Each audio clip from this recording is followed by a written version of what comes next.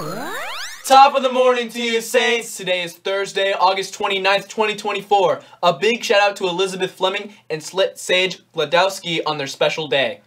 The saint today is Saint Sabina. She is demonstrated under waving faith and true devotion to Christianity, despite the threat of per persecution. On the menu today for the Saints Cafe will be a Chinese buffet. The home opener soccer game versus our rival St. James. Be there. The theme is Stripe Out. Be on the look for shirts during the lunch. Hey, don't forget, tomorrow is Club Fair Day.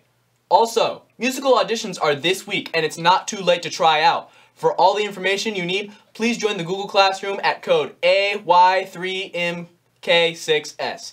If you are in another sport or activity, you can still be in the musical for this year. Please email Mrs. Spillman for more information on participating in the musical and a fall sport.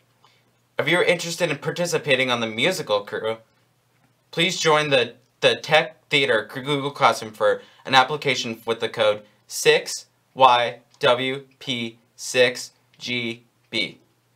The NHS school supply drive wrapped up last week. We completed 100% of the school goal. Thank you for all your support for Resurrection. The freshmen, juniors, and seniors each completed their goals, with the seniors finishing first and getting the bonus point. However, the sophomores did not complete their goals. Come on, sophomores. Finishing with only 93%. This means that the sophomores did not receive their class competition point. Here are the current class competition standings. Seniors with 2 points, juniors with only 1, sophomores with unfortunately 0, and freshmen with 1.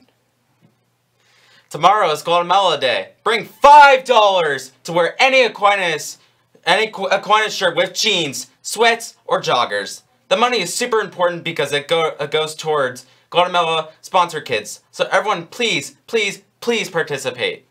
Thank you for watching the Halo Morning Show. Don't you worry, we'll be back with Morty for you tomorrow. I'm Nico. I'm Will. Signing, Signing off. off. Remember, shine bright, Saints, and pass it on.